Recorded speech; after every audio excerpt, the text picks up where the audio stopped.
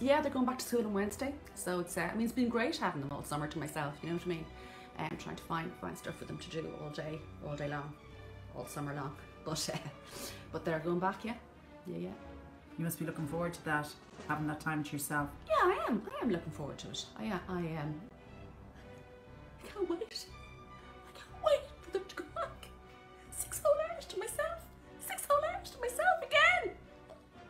No, I'm dreading them going back to school. You know, the homework. I found it very difficult last year helping Calvin with his homework. And he say it gets harder and harder every year, do you know what I mean? What class is he going into? Senior infants, so. Now we're totally organised for going back to school. Everything is sorted out. Yeah, yeah, yeah, yeah. Even the extracurricular activities, we decided to narrow them down a bit because she was doing a bit too much. So literally, literally all Sorcha is doing is cello, chess and swimming on a Monday.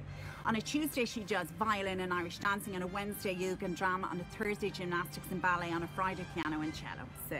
Oh, she's the weekend free then? Oh, no, no, no. She's doing abseiling, rock climbing, and orienteering through Mandarin. So.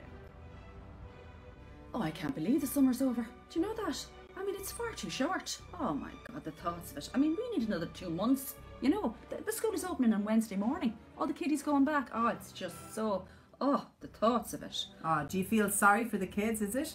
No, I feel sorry for myself. I'm a teacher. And I hate the routine of it. Do you know what I mean? Packing the lunches every day, it's a nightmare, isn't it? Do you know, the sandwiches, the yogurt, the crepes, the Red Bull. Oh, it's a nightmare. No, I'm not looking forward to it. No.